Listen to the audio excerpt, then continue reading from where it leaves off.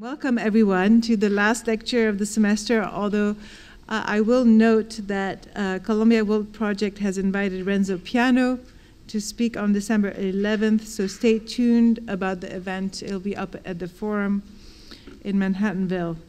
Um, it's really uh, amazing to realize that we're already in the final stretch of the year, and it's wonderful pleasure to have Emanuel Christ with us this evening to present the work of his practice Christ and Gantenbein to conclude the series this semester. Uh, as I reflected on this sense of time passing, it occurred to me that one could say uh, that the principal question Christ and Gantenbein explore through their body of work is, in fact, maybe, architecture's fundamental engagement with the question of time. At a moment in which we are confronted with endless images floods of snippet content, seemingly unstoppable news tornadoes, and when it comes to architecture and the built environment, an acceleration of everything from the time it's taking to urbanize the planet to the time it takes to build a building, or even to the increasingly sped up and relentless pace we are experiencing in practice. To imagine entering a Christ and Gantenbein building is to imagine entering a different time a slower and maybe historical time of stability, certainty, care, and thoughtfulness, care for the city fabric buildings are inserted, inserted to, into, thoughtfulness about their insertion and the new urban conditions they create. The sense of powerful, confident presence is articulated through the sheer monumentality of the practice's bold forms, often entirely made of concrete, which sit firmly in their context as iconic presence without spectacle. But upon closer look, the concrete's abstraction is suddenly undermined by the extreme attention to and breakdown of the material scale of their building surfaces. Whether playing with brick courses, inserting textured marble finishes, exquisitely turning corners, accentuating thresholds, expanding seams, or even inserting flickering lights, the work gains its realism and its engagement with contemporary time through the practice's exploration of materiality in all its details, textures, rhythms, and scales. It is in this sense that the work stands out today, uninterested by the techie gadgets and the green bells and whistles, as well as seemingly unbothered by our uncomfortable and yet prevalent sense that architecture should today constantly apologize for itself. Christ and Gantenbein's body of work reminds us that the ultimate sustainability for buildings should be their durability as well as the contribution they could make to the preservation and expansion of the public realm of cities. This relation between architecture and the cities that give, them, give it rise is very much at the core of Chris's work, but also his research and teaching at the ETH in Zurich, where he and his partner have led research and design studios for almost 10 years and are now full professors, but also at other schools such as the Accademia di Architettura in Mendrisio, the Oslo School of Architecture and Design, and more recently, the Harvard GSD. Faced with the questions of rapid urbanization and unprecedented growth, Christ asks how a new concept for an architecture of the city can, in fact, if not resist, then at least contribute to the contemporary city through the reassertion of questions of scale, temporality, and form, as well as typological explorations, opening up new possibilities to think through questions of sustainability, density, and shared cultural and public spaces of exchange for the future. Founded in 1998, Christ and Gantenbein is today a team of 50 architects. They have won too many awards to list here, in particular for their Swiss National Museum in Zurich and the Kunstmuseum Basel. Current projects include a new housing development in Paris, a flexible office building in Germany, the Lindt and Sprüngli, home of chocolate near Zurich, um, and the competition for the extension of the University Hospital in Zurich. In brief, their body of work is astonishingly expansive and mature for what is still a relatively young practice. We're excited to hear more. Please join me in welcoming Emanuel Christ. Thank you, Amale, for this um, beautiful introduction. Um, it's an honor and a pleasure to be here. Uh, thank you for having me and for sharing uh, this moment with me. Um, actually, this introduction was so complete. Probably I just showed the images and you just remember the text. But um, nevertheless, I try, I try to give my own version uh, of, of um, what I think is, uh, is um, relevant to our practice and to our teaching and research. Um, actually, recently I had a discussion with some of um, our students at ETH, ETH in Zurich and there was a discussion about the role of the architect today and, and, and the, about the future of the profession. Something that, I mean, a question that we all share. It's not so easy to answer, but um, the question is, is evident. And, um, and strangely, this made me think of a photograph I came across a while ago. Um, the role of the architect. Uh, it is a wonderful picture of um, Lady, Lady Bird Johnson talking to uh, Nathaniel um, Owings, the far right, the man with the stick. Um, so, uh, one of the partners of SOM uh, explaining and showing the Washington Mall uh, master plan in 1966. It is a historic uh, picture. Today we live in different times, and we all think, luckily, we live in different times although thinking of uh, Washington, D.C., I'm not even that sure whether, luckily, times are different. But that's another story, and I'm a Swiss citizen. I'm not allowed to, to um, maybe comment on that. But I'm an architect as well, and um, yes, the role of the architect has changed too. The architect is not the powerful ruler with the sticks or the stick in his hands anymore, I guess, and I think this is right so. So, but what is the role of the architect today? Or more generally speaking, and asking, what is the impact of the discipline? What we all know, and we read it in the newspapers, and we, and we learn it here at university and elsewhere, the impact of building is huge uh, in terms, and very relevant in terms of numbers, energy consumption, use of resources, we, we all share that concern and this awareness that the building sector has a major impact on what's happening with our planet. And there's a lot of construction going on, even in the old world, as the US or um, in Europe. But under the pressure of commercial real estate development, the influence and the importance of the architect is fading. That's at least how I experience it in my rather European context. And we could say the influence of the academic architects and designers is minimal, is marginal.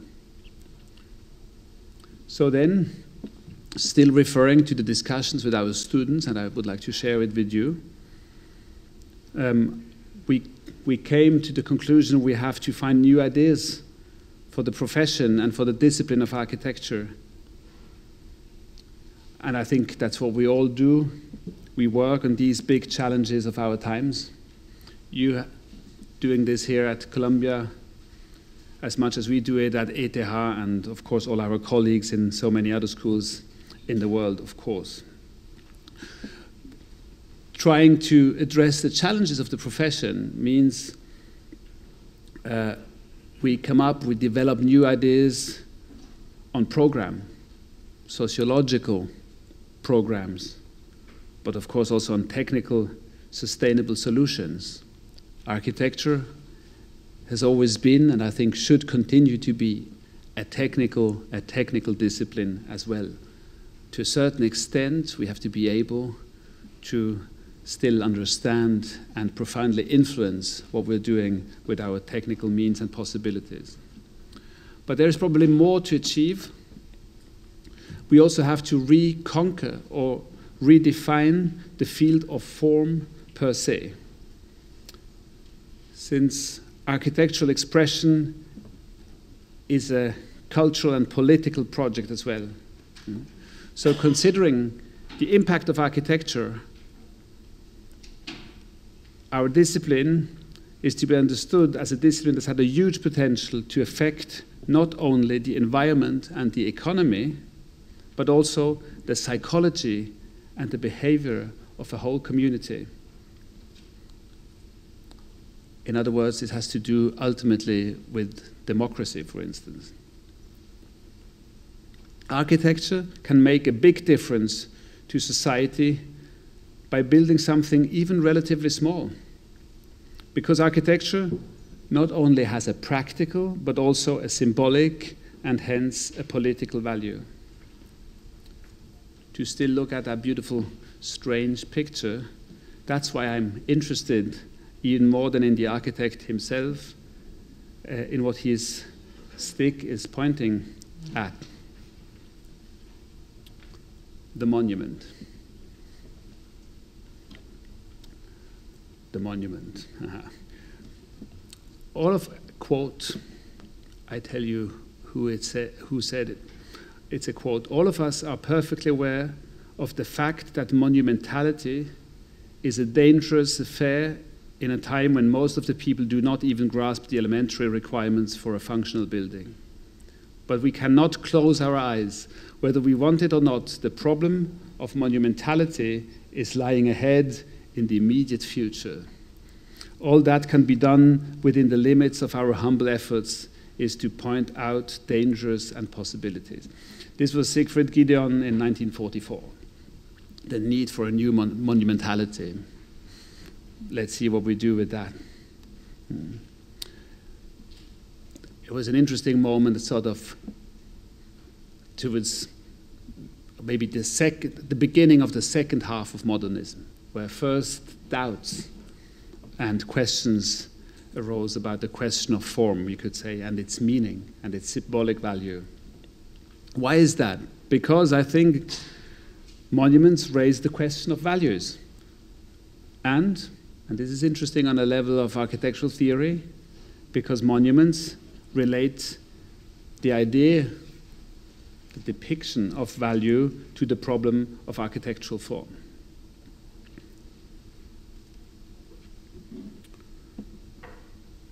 Here we see it again, the Washington Monument and the Mall. This was the March in Washington for Jobs and Freedom in 1963. It was uh, the date that marked the 100th anniversary of the signing of the Emancipation Proclamation. And what is interesting in that picture is that the monument that stands for itself is becoming a place of reference. So the monument, monument is creating or is becoming a social and political space itself, meaning that its value as a symbol is changing with time and history that it witnesses. The monument that was erected for a specific reason becomes through accumulation, through experience and witnesses, a place of collective memory. That's its cultural political value.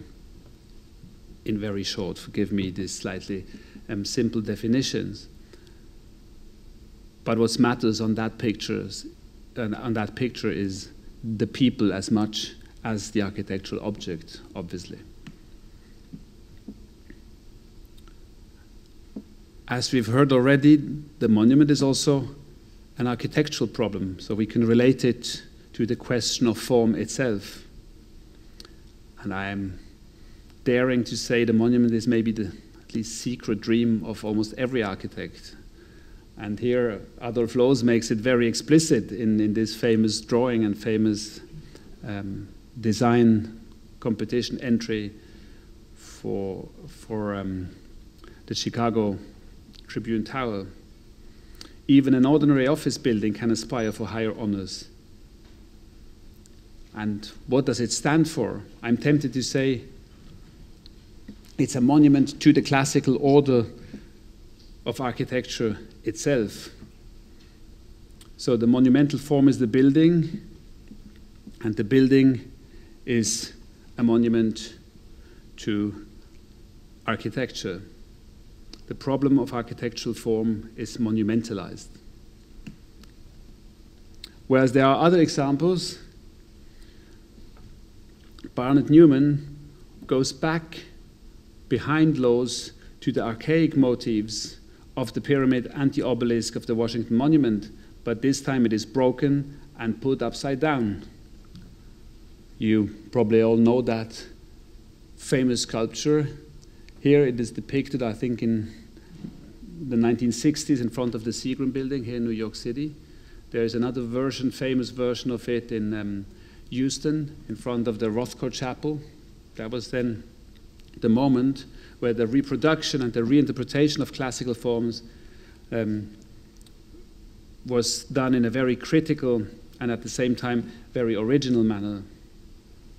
And of course, it shows a very ambiguous relationship with the idea of a, of a monument, breaking the monumentality, and through doing that, or by doing that, breaking the representation of traditional power. And this, in a time of civil unrest, the de Menil installed it then in Houston uh, as a dedication to Martin Luther King, for instance. Hmm? And now the big question What is a monument today? Are monuments still being built? And if so, what meaning, program, and form would they take on? This is a fair question. It's not so easy to answer, but that was the problem that we gave to our students actually, not last year, the year before, two years ago at um, uh, the GSD and I just saw at least one of the students. So um, I've never showed, shown that before, so let's see. But it was a very interesting experiment. The monument, the semester was called The Monument. The task, a contemporary monument for Washington, D.C. Hmm, so this, the aim of the studio was to design a contemporary version of a monument in a time where the collective, the expression of the public sphere, or more politically speaking, the value of democracy are called into question. Mm. And I show you now some projects um, rather quickly. The assignment was simple. The students were invited, and this is the most interesting part because that's addressing your generation, our generation, but also the younger generation of the students. What do we, what do you consider relevant to be commemorated under a, in, in form of an architectural or type of architectural object that we would call a monument? And so uh, students were invited to find or come up with a headline from the then latest, I think, two to six months, and to identify an event or an occurrence that they considered relevant to be to be become a, or to be commemorated. Um, I show you just some slides. Here is we're back with Loos on the left, and we see. Um, 1251 Avenue of the Americans, Americas here in New York. So uh, Emery Roth and Son building the, I wouldn't say the generic, but the office, the high performing office tower as we know it from the post war modern period. Here it's the 1970s. Uh, so this student was um, referring more generally to, to um, the economical, economical uh, crisis that happened actually a bit earlier and then to a headline that I don't remember.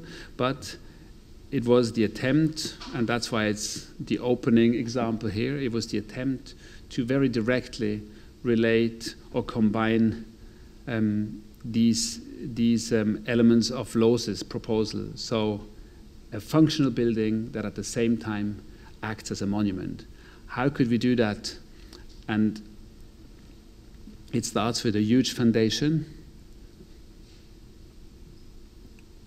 You see sort of the base of a building, four big entrances, 32 lifts, elevators in the center. So this is a plan of a building. Above this ground floor, a huge obelisk is rising to the sky. You see the elevation and the section. And it's in the first place a building, but its form is a clear symbol. You recognize it, it's an obelisk, so it is not the column of Loos and the celebration of classical order. It's going back to the Egyptian obelisk that is sort of reproduced in a bigger scale uh, in Washington in the mall. And the program here is an office tower, so that's boring. But at the same time, it is understood as a monument to capitalism, as the real value to the American society. That's the statement. So the criticism of a global economy that always aims for taller, bigger, and faster production. And we see here, there is also, um, here is the new obelisk. I think this is, um, this is New York, World Trade, World Trade Center.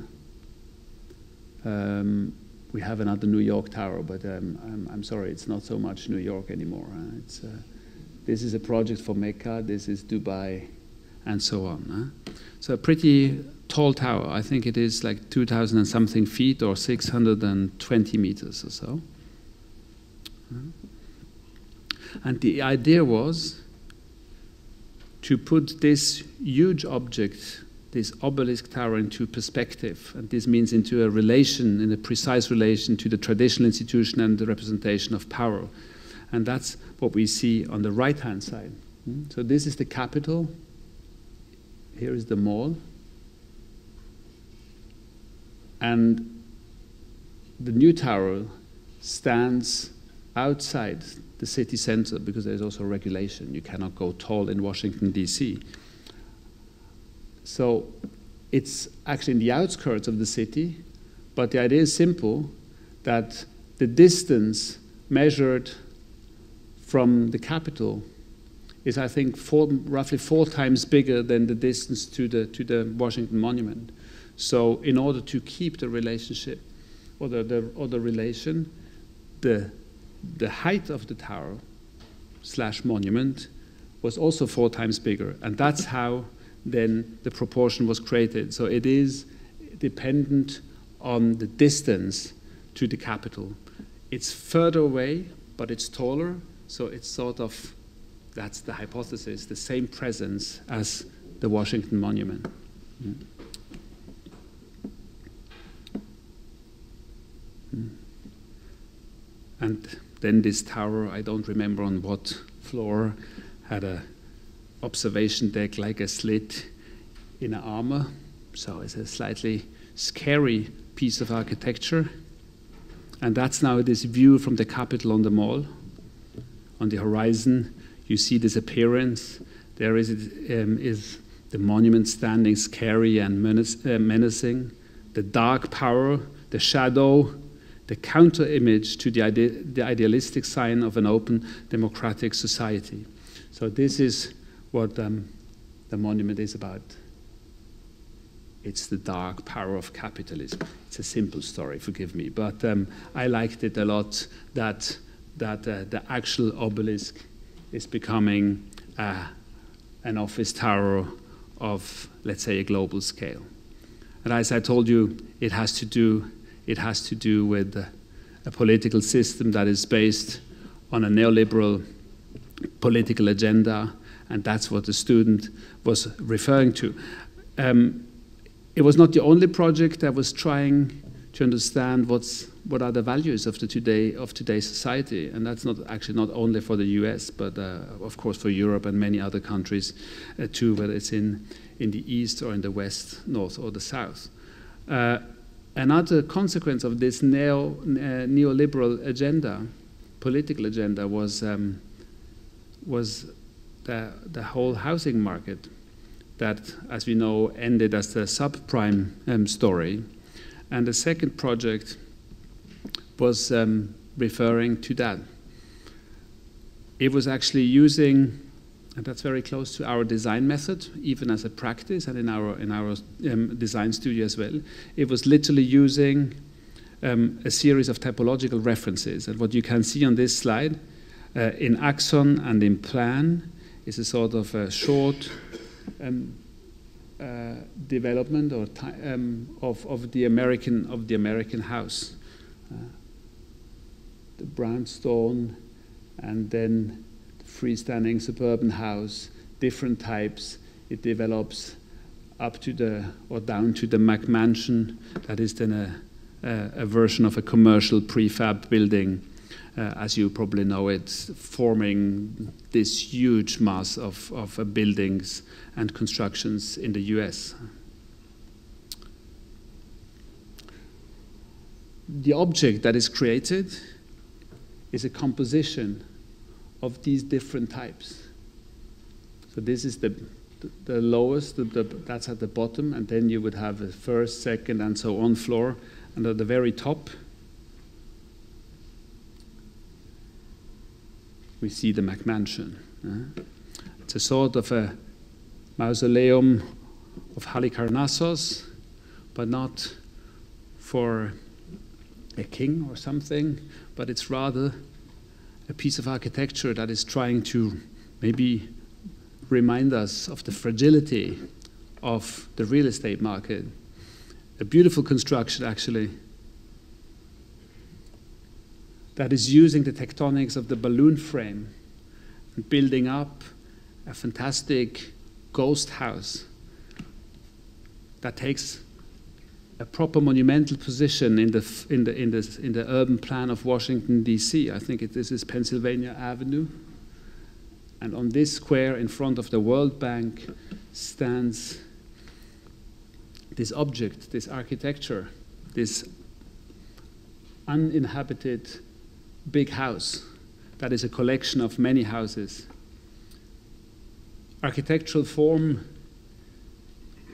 is carrying a meaning, it stands for a symbolic value, a memento mori to the existence of the house, not necessarily because it's a fragile construction in timber, but rather because the financing system behind or underneath is not stable. So the fragility expressed through form of architecture is, is um, visible in that beautiful object. How long will it last? We don't know. Perhaps it will even burn one day. So, what then remains will be the ashes of the memory of the subprime crisis. A very simple and at the same time, I think, very, very rich and accomplished project. The studio was actually very much related to, to a current moment. Probably you remember two years ago, more or less, there was a big debate about a planned removal of a General Lee statue in Charlottesville, in Virginia. Mm-hmm. Uh, it is it is a equestrial statue of that General Robert E. Lee. Uh, he was the Confederacy's top general, and then in August 2017, there was a violent rally because white nationalists um, were, came to Charlottesville to protest um, the city's plan to remove that statue. And at the same time, there was a counter demonstration uh, which were there to oppose these protesters. Mm. So that was a very violent moment. You probably remember that. Mm. And this is the fundamental, and, and it was very interesting to see that, in that sense, a classical statue, so it's not so much architecture, but that the monument is still of a political relevance. What do we do? It's not a simple question to answer. Hmm? And in this confrontation between white nationalists and their opponents, which basically was were representatives of, of um, different minorities and also people uh, who fought for, for a liberal understanding of, of society, um, this brought back the memory of Keshia Thomas. Mm. This is, uh, as you probably can read, uh, taken from a newspaper in the 1990s, 96. Mm. This lady, Keshia Thomas, in another confrontation between um, a, rally of people of uh, Ku Klux Klan, uh, they were they were opposed, aggressed, stopped by by a counter by a counter um, group. So there was a fight, and this guy is is uh, I think uh, you could probably of read it. I, I don't remember. He was he, he's a he's one of these um, nationalist racists, and he was attacked by these men around him, and there was Keshia Thomas, and he was almost about to be to get killed by the by, by the angry men around him, and Keshia was with her body protecting the enemy, uh, the the person that was aggressing her or, putting in question, into question her existence amongst others in, in American society. So a heroic, beautiful gesture that is very touching, and our student Philip, who is here, um, made this discovery or had this this um, this idea to go back to that moment in, in recent Amer American history and decided to propose a monument to Keshia Thomas in Washington.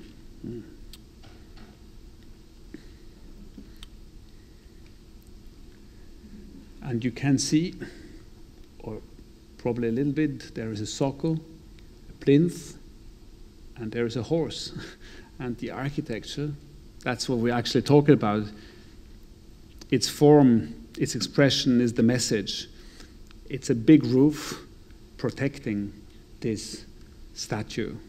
So the project is actually that the proud general on his horse from Charlottesville is taken to Washington, but it is protected slash hidden, transformed just by that gesture of the roof that is commemorating this beautiful gesture of, the, of, the, of this lady. Mm. And you see it in plan. And this is architecture, it's a structure it's actually a very beautiful structure. Hmm. And here you see the statue. Here it's visible, but it's also invisible at the same time. It's a structure made out of leaves and branches that is covering it. It's a sort of a vernacular architecture. And it's very prominent, prominently placed in the park in front of the White House.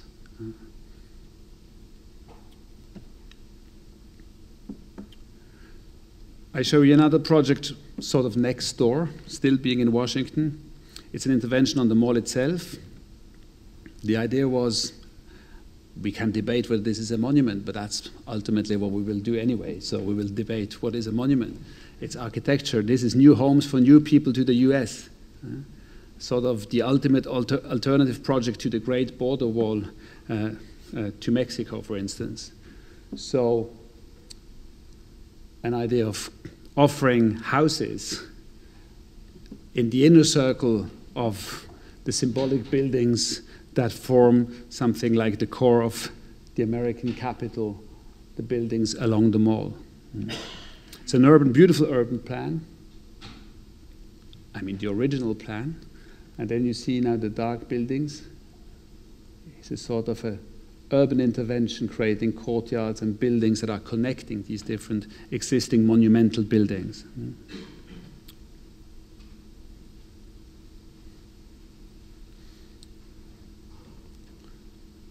Bringing these people to the very core is a problematic operation. So, to a certain extent, we could be critical and say this is almost like taking them to the circus. Or we could ask, isn't the mall and that place of these institutions sort of a circus. But we could have a more noble idea and think of a campus of a university where originally in Jefferson's plan it was this idea of the collective that is grouping people's houses where people live. So a very, I think, beautiful and, and simple gesture. Mm-hmm. And then when we go closer and we see these beautiful buildings, the museums, and in the center between the two institutions of knowledge, education, and culture, we would have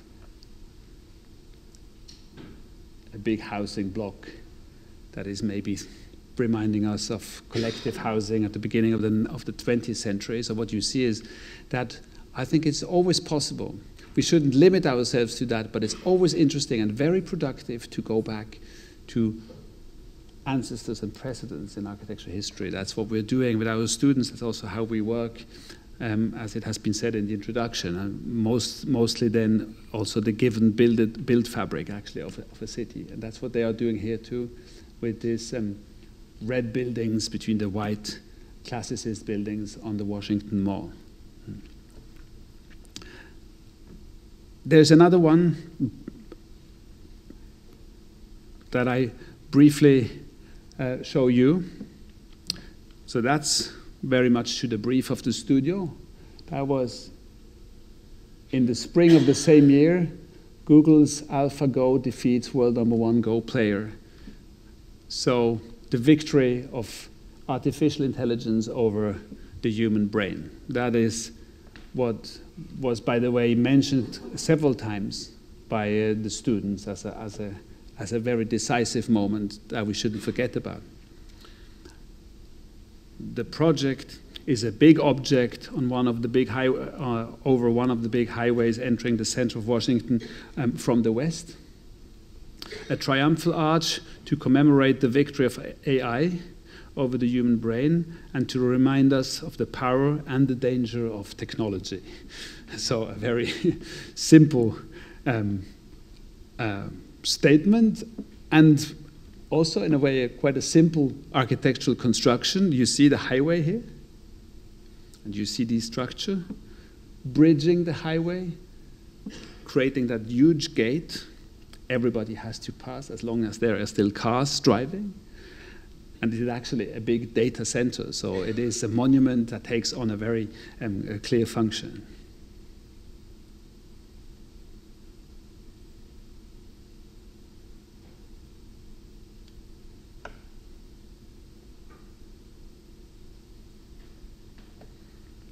And finally, that's the last um, student project I want to show you today.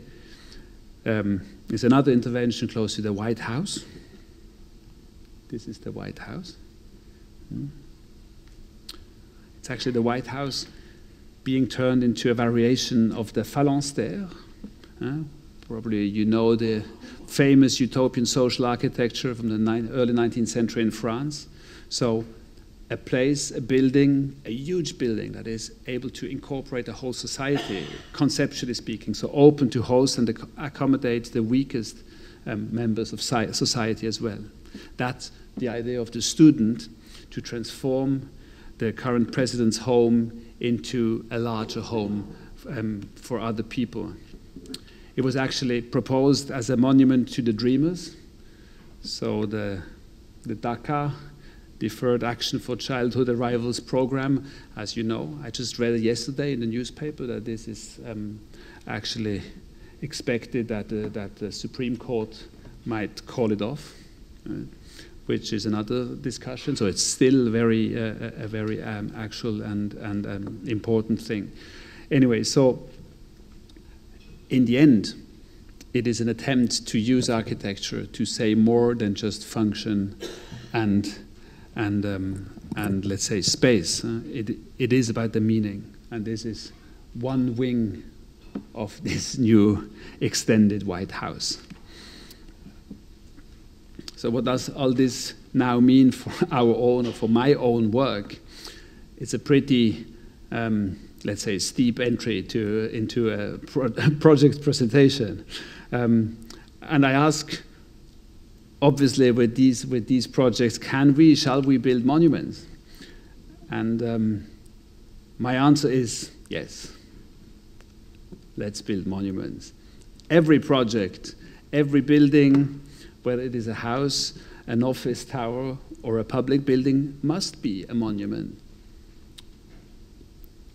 At least a symbol for something, a gesture that speaks to the people, and therefore it has to use a language that is understandable. It is therefore not, and I consider that important, it's not the individual gesture of the egocentric architect but it's rather the opposite, or it should try to be the opposite. Uh, our, and I speak of this idea of a monumental project in all modesty, our project must take on a form that belongs to everyone. And this without using a style. So this statement is not a hidden neoclassicist manifesto. It is much more a manifesto for a common language in architecture, a common language that doesn't exist really. I'm dreaming of architecture that is intuitively understood and telling something that is speaking to everyone. So I would then relate it to the idea of architecture that is belonging to a place. Hmm? Architecture, this project that we are imagining, must incorporate a notion of time, memory, and longevity. It must be appropriable by future generations in practical and symbolic terms. It must take a stand, a position to a society. It must be sustainable in material and immaterial terms. And to put that to the extreme, I would argue it must last more than 100 years. And um, this is a statement we made uh, in Venice, as you probably can, no, you can't really see. And this is a brick wall that is actually much older than 100 years. And there uh, we were presenting a big book, a monumental book, and just this light projection more than 100 years. There is also a small version of the book, and I flipped through the book very quickly with you. Uh, it's actually a book about the project, so we are finally entering um, the projects that we've done so far. So, not just my strange dreams about monuments of the future, but um, it's a book about the project, but it's also a book about how the problem of architectural form uh, um, uh, is, is um, or how architectural form is behaving over time. Mm. There is a, a, a, very short text. There are pictures by Stefano Graziani, who is a, a friend, uh, an architect and an artist, a photographer uh, from Italy, and there are drawings. It's about the Kunstmuseum in Basel. Uh, the text, that's all. Well, um, this is a typical Swiss architect of my generation. There's not much time for writing. Um, but still, uh, uh, you, you, you see that there is, uh, in a nutshell, this, this um, statement of what I would call the sustainability of form uh, and the strive for long lasting, to try to create long lasting buildings. And this is a physical, a material issue, but not only, it is also to be understood in immaterial terms. However, then the book is, is, um, takes that very literally. This is the interpretation of the artist who goes then to Rome, looks at the ruins of the Pantheon from the back, typically here, and is looking just at a, at a brick wall. Hmm? So, form is created through remembering form, you could say, meaning that we are producing our images somehow always in relation to something we know. This is not a new story. It's also a, series of images that probably speak about the magnetic appeal of the ruin. There is other um, versions of that. Mm. And we are, of course, in a tradition where images of these ruins are part of the cultural propaganda. So it goes beyond just your physical experience. It, it, it, has to do with the fact that to all of us, I think, typically also in architecture schools, um, this knowledge, this romantic view on the ruin has been handed down from generation to generation. And then we probably see here the column. We see a different version of it by Borromini in San Carlo alle Quattro Fontane. So we could say it speaks about the continuity of form and the problem of language. Hmm? And a question that I find very interesting, and I was trying to refer not to classicism, but there's still a bit of classicism. Do, do buildings of different times speak different languages? It's an interesting, it's an interesting question. The question is simple. The answer is not that easy. So there, it goes on. I, I won't explain every picture. Uh, that's a crate of an artwork of a photograph by Günter Förg. That is also um, that is in the museum we've built. So far, you don't see the museum. You just see Italy. You see brick walls. You see kind of everlasting architecture through its sheer mass and massivity, and then the first image of our building. Hmm. Probably would say this is now our reaction to the Roman wall. But I mean, it was Stefano who put the, created the order of the images. What is interesting, I was saying form is created by remembering form, but there is, of course, a certain abstraction. Hmm? And then there is more of these details. And there's a second image on the right, beautiful work by Alighiero Boetti. And this is the, the artwork, and this is just a detail of a room in, in the museum building we did. I was speaking about the representation of that knowledge, uh, the, another a Piranesi. Ah, and then you see a bit more of the building and you see the urban context. And I was speaking about the monument that belongs to a place that is trying to belong to the place in the sense that people understand it is not um, about the creator, but rather about the circumstances. You could call it the context. Here we see the back of the building.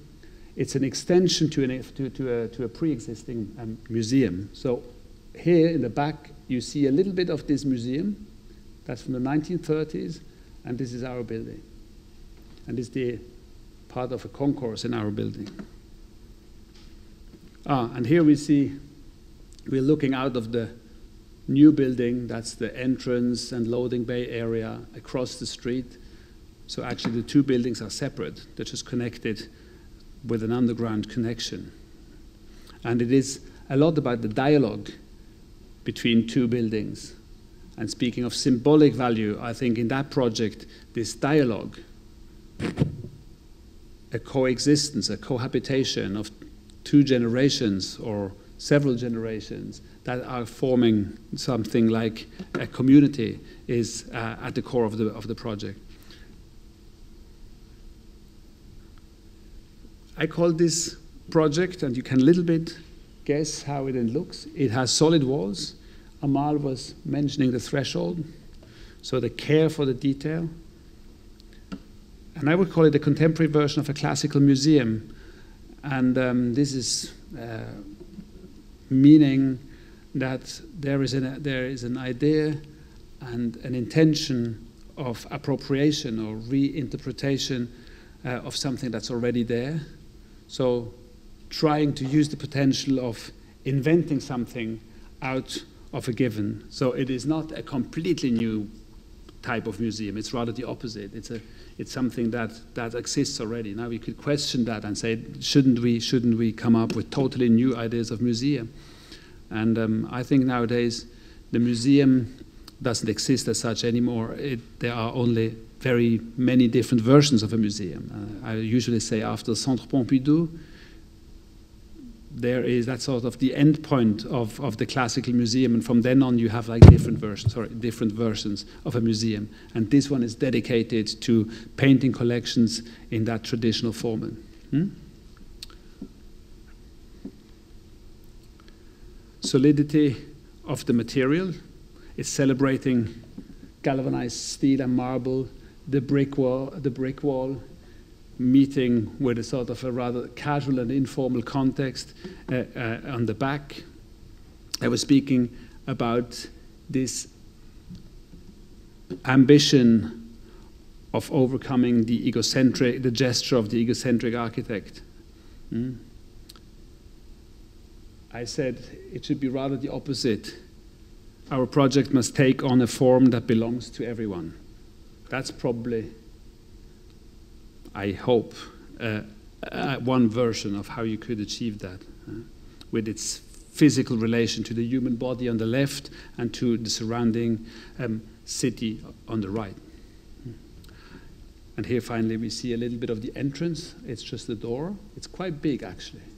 And this is a, it's bricks, like in ancient Rome. What is a bit different is here is a frieze that is running all around the building and in this frieze, that is between the layers of brick, there are LED lights that you don't see directly but only indirectly. And then with a sensor that is measuring the, uh, the, the, the, intensity of daylight on the facade, um, you would compensate um, the shadow that is created. So what we see in dark is the shadow just in the relief of the brickwork. And here where we read something, it's the LED that is just kind of compensating the shadowing effect. So it's the attempt of creating a sophisticated presence of the digital age within that um, rather archaic brickwork. And on the right, that's the old building actually. So you see, I was speaking about the dialogue. This is the new building in a series of these heavy, heavy traditional palazzi along that um, street in Basel, where I actually live and work. And it goes on with this rather cryptic series of Stefano's photographs. You see the, the, the gallery space, you see a part of the wardrobe, and so on. You see the building as a cornerstone. If you look carefully, you see a bit of art here. This is um, a stainless steel box by Donald Judd. Hmm? And in the center is a stair. So that's the typological idea of the museum that we took over. It's the grand stair. Hmm? And it's the isolation of the wall. Another shot of the stairs. And then finally, we, we arrive to the third part of the book. After the text and the photographs, we have the drawings. And the drawings show not only uh, a series of different spaces, but they also show that they are. Um, this is the underground connection to the old building. That's the actual um, footprint of the of the of the new museum. Mm. You see the geometry of the site. There is a street, and here is a street. And what you see here, or maybe the projection is not that good, but you can see that the construction, different from the ideas of a timeless architecture that is, stands in a tradition, construction is by definition anchored in the present, and it's all about the contemporary condition. So it's technical, it's economical, and what these drawings show in a certain contrast to the, to the photographs is that there is, it's not about nostalgia. I see even a certain intended tension between the very specific condition of the here and the now, so expressed, for instance, in these mechanical drawings, and the idea of a piece of architecture that sort of stands there forever, that is trying to hide its contemporaneity. And then, of course, every project uh, finds its form not only the, uh, through the context, but also through its typological um, inner order. And here you see it very clearly. It's two wings. This box is one wing with, with um, gallery buildings and this one, uh, galleries, and the other one is um, a compartment with four other galleries and the stairs in the middle and all the services in the remaining corners, to be simple. In section, you see celebrating the form of the tectonics. It's a prefabricated building, as you could see before. Huh? Four public floors. You even then see in this little book all the details of these prefabricated elements. So we spoke about that. We shouldn't give away the control over the building technology itself, even though we're speaking of symbolic value and of form and its meaning, I think in the end it is related to the expression of construction. The skylights, mm, the door, the windows, elements of the central stair, even the, the pre-stressed and not stressed cables in, in the load-bearing walls.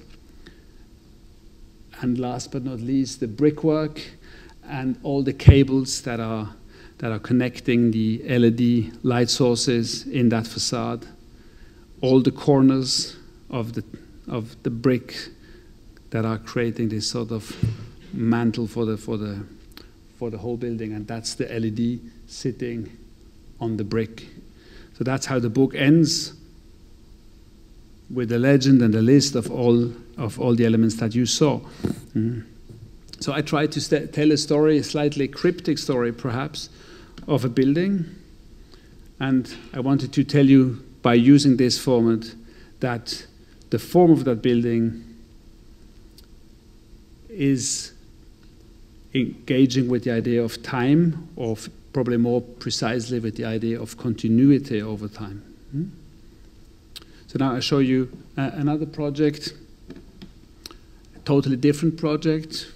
It's in Germany on a, on a modern campus from the 1950s where there are production plants for um, pharmaceutical industry, but also some some office and and um, and uh, other buildings of of that site, and what you see is this is this building. It's an office building. Is it a monument to be discussed?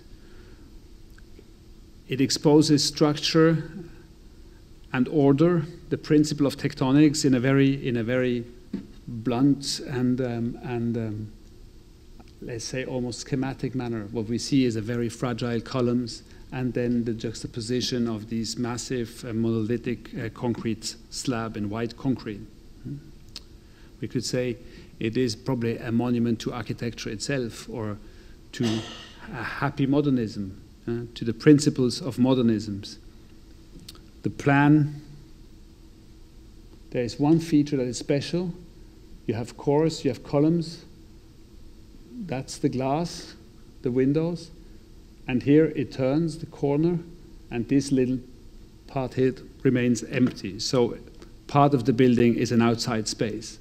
And that's where it becomes specific. The most generic principle of architecture, just the, the, the piling up of slabs, is put into question here. The slab is actually becoming a ramp and it's a little bit of empty space. That's the face to that side, to that campus. Mm. So the monumentality of structure and space is celebrated in that very moment. Mm.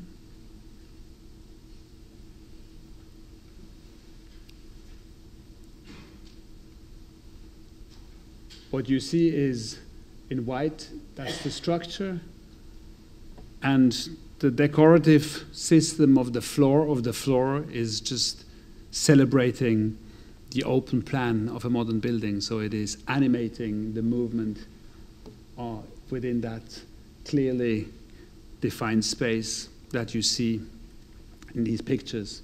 So that's actually, uh, it's not a recent project. We are building actually a new building next next to this one. And um, next time I come, I will show you um, what type of monument this will be.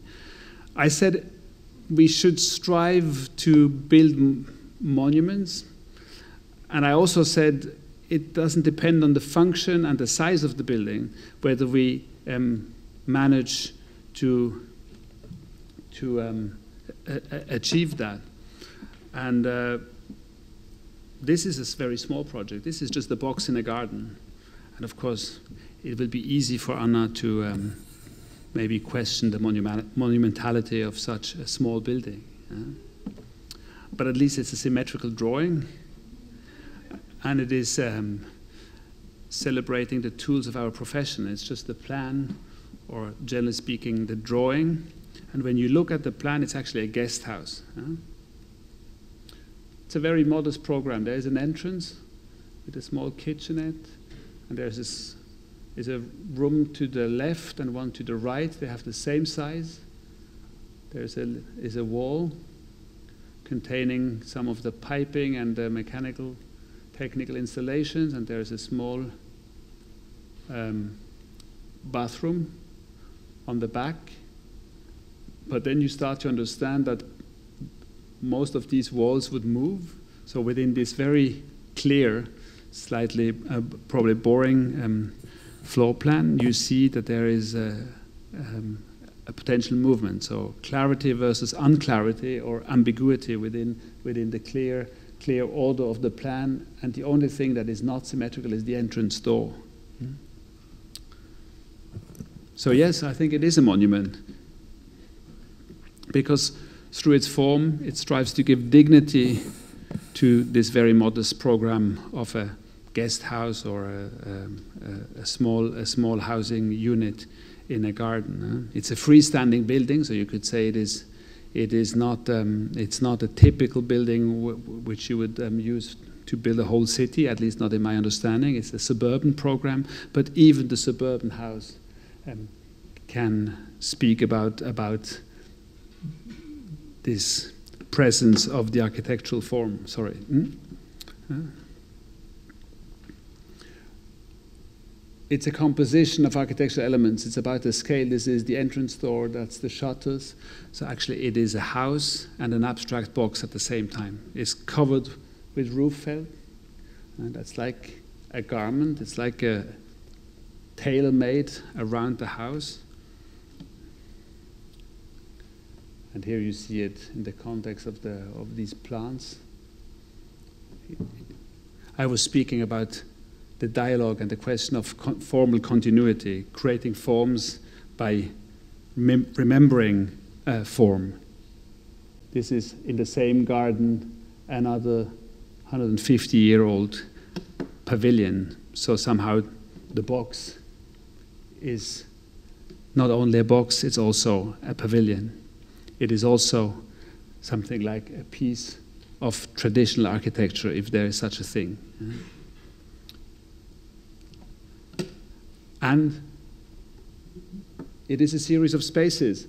Even though you remember the plan, since the panels would open, you create the continuity of spaces. And this is from one room through the bathroom into the other room.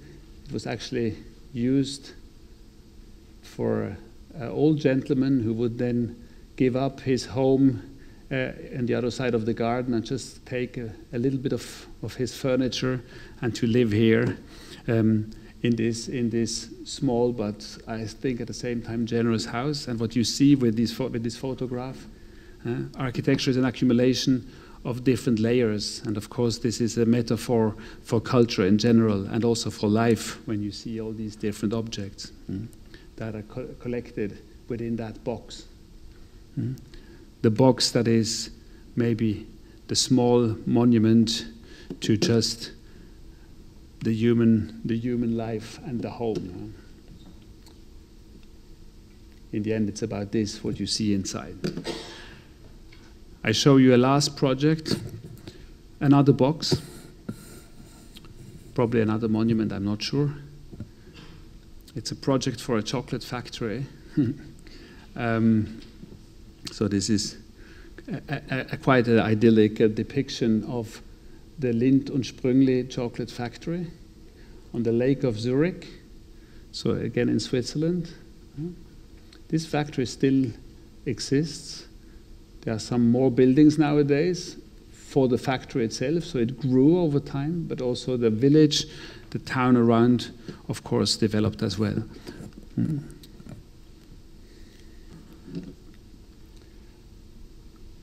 Here we see the site. This is a typical um, competition model as we use it in Switzerland. It's a plaster model, scale 1 to 500.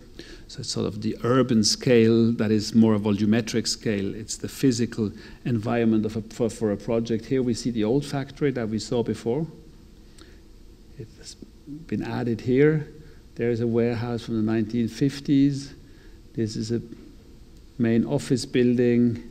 So that's sort of the new face of, of that whole institution that is called Lindt und Sprüngli. It's a global um, chocolate manufacturer or producer, and this is a new building.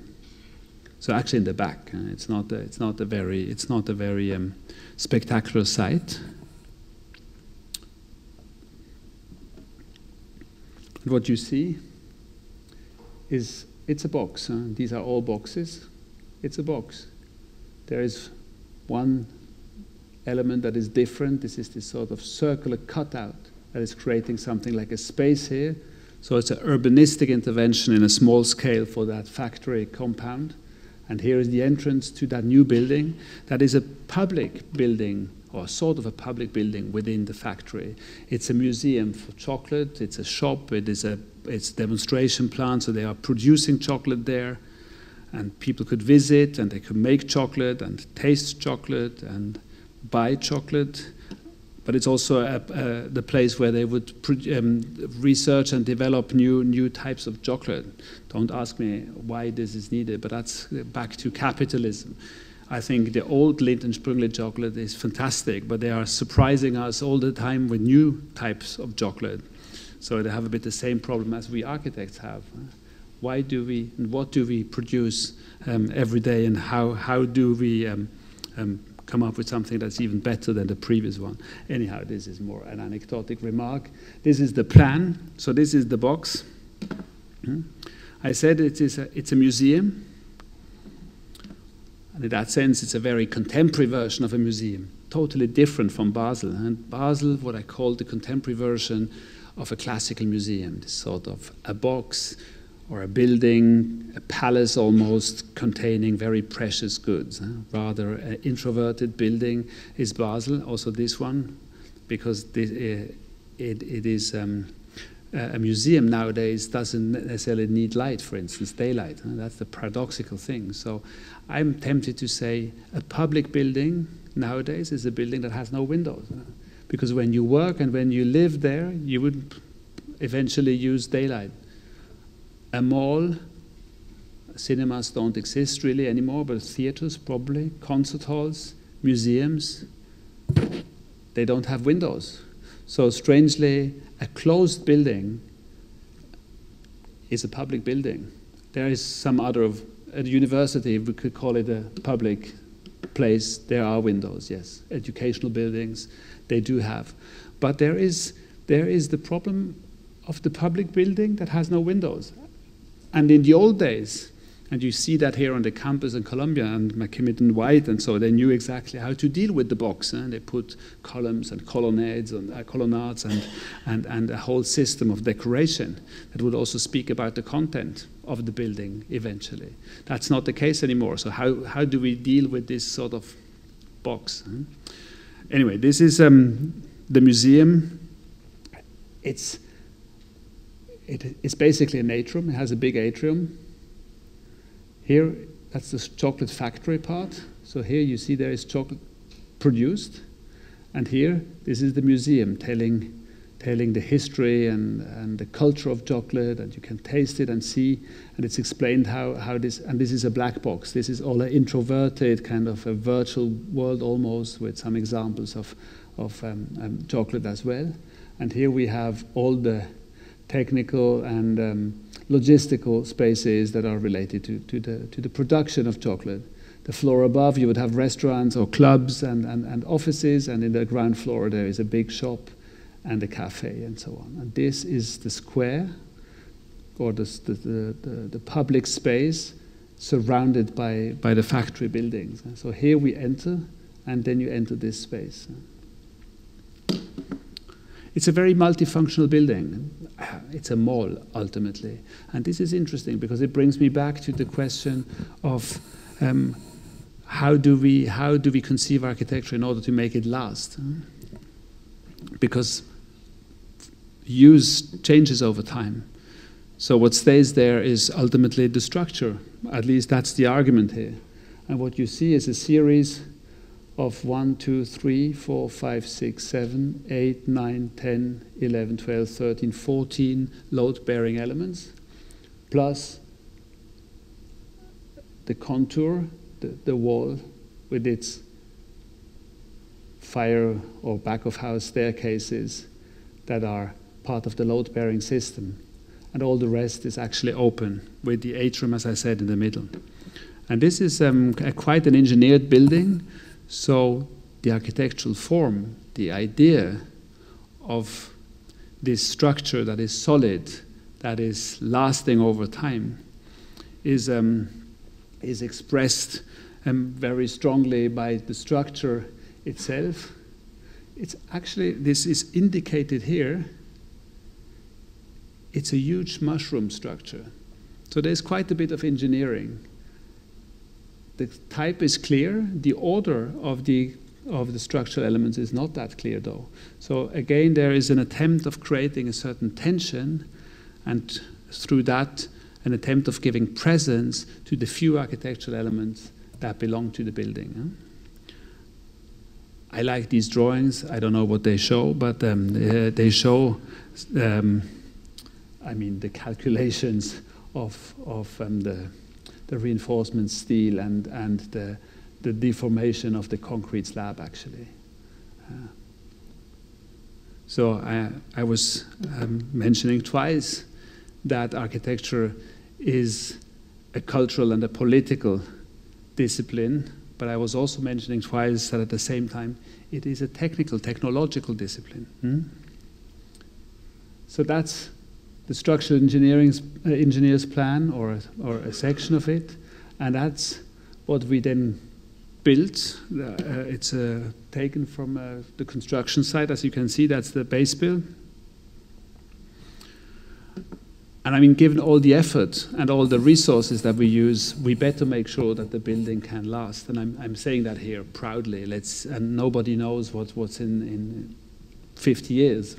You will find out, me probably not. But this is a, another monumental dimension to our profession that we are conceiving and producing things that are meant to last longer than we live. I mean, this is a very general thing to design, or you could also say in the arts or in many other disciplines as well. But what I find again and again shocking and encouraging at the same time is that we are that we are confronted with a problem or an assignment that is putting us into the position of of creating something that is living longer than we do. I mean that is um, uh, that is uh, remaining and. Um, and this is this atrium. You could call it an archaic type. It could make us think of ancient Rome, but also of the department stores of the beginning of the last century. A robust, a robust structure. It could change. It could become a workshop, a complete factory. It could become uh, the whole thing a museum, the whole thing a shop, a warehouse. But you see, oops, sorry. Um, in the end, it is, it is, at least in this stage, showing the elementary presence of, of the architectural order. And in that sense, as you saw, the Piranesi ruin, it, we could compare it to that. And that's another long story how, how we, um, what, we, what we learn about the ruin. And it's monumental value. But what's interesting is when we speak about monuments, we very often mean old buildings. Eh? So, a question that I have for the discussion, and it's a question to myself, is is just the fact that a building lasts over time or just remains there because people forget about it? Does it make it a monument? It's just the accumulation of time, and through that, the memories that are encapsulated in that time? Is this making uh, a monument out of every building? This is just a question aside. So we see some more of these beautiful photographs of this impressive, slightly dramatic um, space. You see, or you, we could imagine, uh, and this is of course not the case yet, but how people then would walk through that building and go up in the museum and then maybe see the production on the other side. You see some more being lifted up and brought down, almost processed a little bit like chocolate. You see the soft lines or the soft movements of the concrete, of the heavy concrete. But it's a poor material in a way, huh? and forgive me the simplicity of the comparison, but I, uh, or maybe I don't have to say it. Did you think of the comparison between chocolate and concrete? Maybe not. Okay. Uh, and this is, uh, this is the model. Yeah? So I was showing you the technical drawings. I also show you the models, how we work. So we, that's just to give you, you saw the students' models. We build um, big models, sometimes rather clumsy models, where we try to understand the proportion and the spatial quality, namely of, of, our, of our project. And this is very recent photographs, and it still it takes another half a year until it's open. And so you have to imagine there will be a, a monumental, monumental chocolate fountain built in the center. And, um, and, uh, and a lot of things will come. And now it's very empty, and it, it looks almost um, like SOM's architecture of the 1960s. So um, I, I, wasn't aware of that, but it, re it, reminds me a bit of the first photograph you saw an hour ago. Um, I mean, that time. but I think it's quite the beautiful, that's the offices. That's just very recent. That's fresh. I think I'm not even really allowed to show these uh, pictures. So please. Um, uh, so here, here you can guess a little. I'm standing here at the entrance or, of the museum part, and this is not lit yet, but here then will be chocolate processed, and a lot of people. Lindt and Sprüngli is expecting it to become the most visited building of Switzerland, probably. I find that a bit embarrassing and scary because we have some really good cultural um, buildings too. Um, but not as, as many people will go there as will go to the mountains. Uh, there's, there's still something more important, I'm glad. Ah, ah, here you see a freaky floor.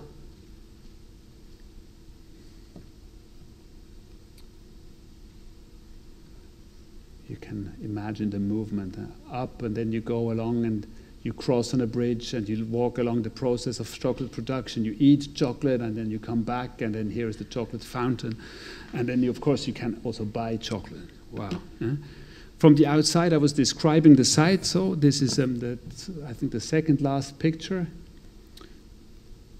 It's a bit less spectacular. It's a very, it's a, it's a very mundane, normal place. Uh, these are these grown over time buildings. Here we can see actually this curved wall. It's a brick box, red brick, and then there is this white screen. This is the entrance. Is it a symbol? That's a question. Hmm? But you see, it's really a box. And then we have these gilded letters that sit on the frieze. They slightly disturb, let's say, the architectural order. Mm. But it's an interesting question. How do you brand a building? Do you give it a name? And so the monumental gesture of the entrance screen is literally overwritten or overruled by the letters of the brand. And I'm afraid, I must admit, the monument ultimately turns into a, a decorated shed. And um, so, most confusingly, um, I end with this. The monument, as we learned from Bob Venturi, is nothing else than a sign. It's just words, ideally. So, is all my, all my um, attempt to give that much importance to architectural form sort of outruled, I don't know. It was Victor Hugo, no, who said, uh, Ceci tuera cela. Uh, and that's where I end. Thank you very much for your attention.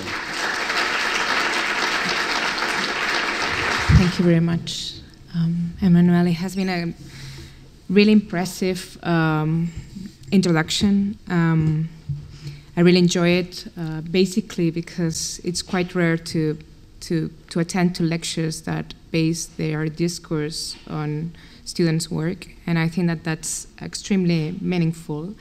And I also really enjoyed the way that you end the lecture because it was actually one of my questions that I had tonight, at least one of my references that I wanted uh, throw on the table. Because it's quite, uh, you, today you have just talked about one of your, your books, but uh, you have published many of them somehow your work in academia, as well as your little books that you um, publish once in a while, uh, for you are tools to raise a discourse that able um, you to define your practice, or in other words, you define you position your practice in the disciplines through those little exercises, studio work, and little publishing um, booklet, books with short texts, true, but uh, quite deep or at least strong. And uh, the first one, for instance, the one that you published um, with uh, photographs of your travel to Rome, for me it was it's quite interesting to see the evolution of all those books. So you start talking about the ordinary. His first book, for those that you are not acquainted with it, is just a collection of photographs that you pair really well-known architectures with totally ordinary um, architectures. And some of them you pair them with your own work. Already they're showing, positioning yourself with both ordinary and extraordinary buildings. And one of, then you move on from the ordinary, you move to typology. And then today you're talking about monuments. And in the meantime, you talk about time. So for me, the evolution is quite interesting. Um, and uh, but today I wanted to talk about the ordinary, and also because we have in the audience uh, Enrique Walker, so I'm going to actually quote you or use some of your ideas tonight. Uh, because it's one of your books is actually titled Typology, Hong Kong, Rome, New York, Buenos Aires. Some, somehow it could be linked with all this genealogy of architects that have looked to cities to raise a manifesto. I don't know if I could use this term here tonight, uh, but basically to, to understand the capacity of the act of looking to a city in particular to raise a particular a personal project, and you have you have done that. And the question is always, what do you respond to through that look into the ordinary? So, for instance, learning from Las Vegas, and actually we had a fantastic uh, reference as an end of this uh, lecture. So, clearly, responses to the design principles of modern movement so it's clearly a response to the established idea that form follows function, claiming that form should also embrace ornament and decor. And through the case of the duck and the shed, uh, they came up with um, a new building type that would offer, you know, uh, a new kind of uh, to functionalism. So clearly, we understand the position of, of uh, Denise Scott Brown and, and Venturi towards uh, modern movement but then my question tonight to you is what do you respond to? Why do you think that today we should talk about monuments? Who are you talking to? Who I'm talking to? Are you talking to me? No, um, um, uh, uh, you know, probably in a in a lecture, you're always talk a little bit to yourself, at least, or but that's just put that aside. I'm, I'm talking to to um, to not only my generation, but I think uh, probably rather to, to the generation of, of our students, of, of uh, part of the audience here, and to our students uh, also in Switzerland, that I'm I'm sort of responding to uh, certain, let's say, to, to maybe a, a generation of architects who don't know anymore where the profession will lead them to. And uh, that's not that's not just the young students. That's also, as I said, to a certain extent, it's it's my it's also my own generation. It's me, you know. I mean, we are we are at the moment uh, we had a conversation um, and a discussion, Amale and I, uh, just also before, no, where we were saying, I mean, we are this threshold generation. We were brought up in the 20th century, and it's our predecessors is the, the generation of star architects in all different manners, and um, and now and now we are in a certain crisis. We we know that there's huge challenges, environmental, societal, digital and computation. How does it affect? We saw artificial intelligence. How does it affect us as a profession, as a discipline? And more concretely speaking, let's say, assuming I'm a young student, I'm investing all this time and this effort, what will my role be? And perhaps to come back to your to question, responding to this imagined and sent uncertainty, uh, to address probably the, the most radical aspect of architecture that is ultimately form, because form making is something that happens. It's not the reason to do architecture. Eh? I don't want to limit it to the problem of form, eh? but to try to understand that there is, as I try to say, a social and political and cultural value in architecture, and that our, our responsibility as educated people, as citizens is something we can express through architecture. Uh, and in, in, my project, it's very modest. I mean, it's by, by the way, the first project is um, the museum in Basel. It's just saying I'm a museum. I'm not an iconic object that is there to be just promoted as an independent image. I'm belonging to the city. I'm part of that urban community. So it is a statement. It is a statement that says, yes, I'm addressing and accepting a certain context that I consider valuable to be reinforced. You know, I'm belonging to a place, as I try to say. But this is this is something we have to be aware of. This is something no computer, no technology, um, no, let's say, political short time um, de um, defined political agenda would, would really would really tell you. So um, the monument is in the end the ultimate problem of architecture, I think. Hmm? And this is something we have to reconquer and re reinvent again and again. Uh, I'm there's I'm I'm not sure I'm not sure um, whether whether this is um, an answer to your question, but I'm I'm trying to give confidence and also an encouragement, but not necessarily an easy indication to where we should go as a profession. We should incorporate all that and, and um, what, what our discipline is defining the technological, the econ economical, and the social aspects, and try to consolidate it under the problem of the form. That's what I think. Thank you. Thank you for, the, uh, for uh, making architects think. I'm not sure whether it's about profession or about generation, but it is certainly about architecture. And do you, uh, interestingly enough, uh, use Adolf Loos and Piranesi as cornerstones of your talk? And then you bring uh, Venturi, and then I thought, why not Rossi? And in this redefinition, Rossi talked about the architecture of the city and tried to do something that I hate or I like to say you're better at doing than he was. Uh, and in other words, trying to define a definition, to, uh, you know, how can I say, def defining a definition, but to define uh, an architecture that becomes a different form of interiority.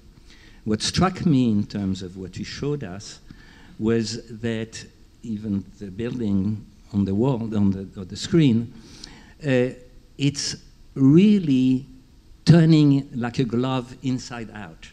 You talk about a new form of interiority, which we haven't heard for a long, long time. And so I'd like to hear from you about that. Mm -hmm. A form of interiority. In the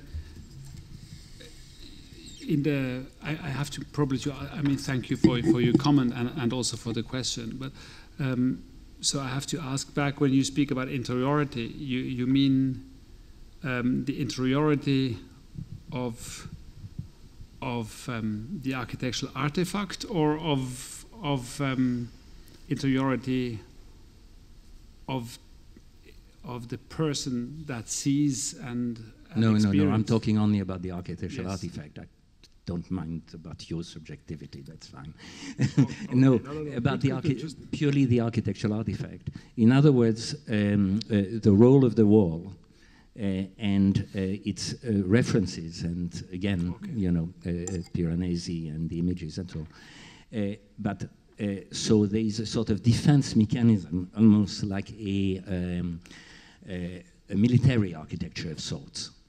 And then inside, it becomes incredibly sophisticated and even luscious.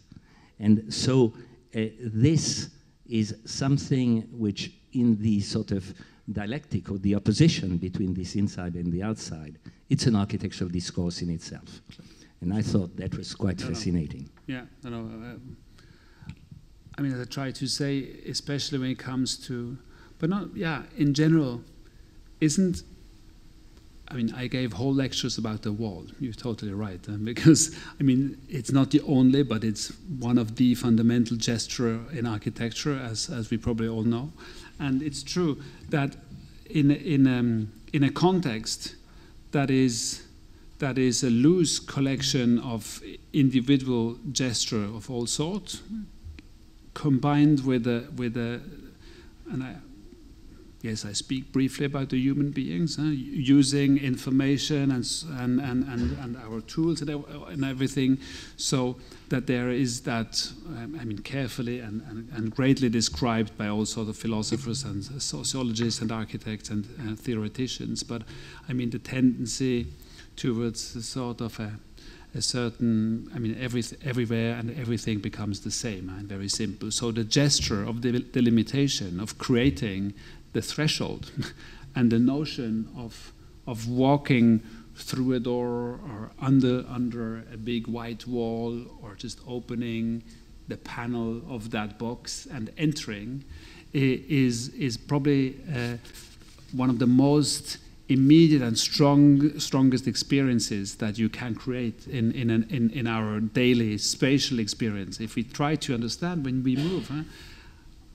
Am I inside, outside? Where am I? You know, this kind of to intensify that moment of transition, of entering, going in, experiencing the lights going. That's very fundamental. But that's what our buildings are doing, and it's true, and, all in different ways. And sometimes they are very protective. You could also say, I mean, I'm there are, by the way, also doubts about these strong gestures. Uh, I'm very open. Uh, sometimes you think it's maybe a bit too introverted. Should the building, you know, and I, I mean, a bit simple, but especially in the post-war modern discourse, not in theory, but more in practice and in politics, you would say um, an open an open building is a glass building, mm-hmm. and glass is transparent we could argue about that. Maybe glass is not that transparent, but it's transparent, symbolically speaking, and therefore it is democratic. And then, following this assumption, a brick wall with no windows is bad. It's maybe totalitarian. You know, it's it's so. Speaking of symbols and monuments, it's a very interesting question. So interiority and the threshold, or the separation between two different conditions and offering a very precise relationship, which is maybe just a punched hole or a slit or a door or a gateway, is, is, um, is, is, is, of course a symbolic gesture as well.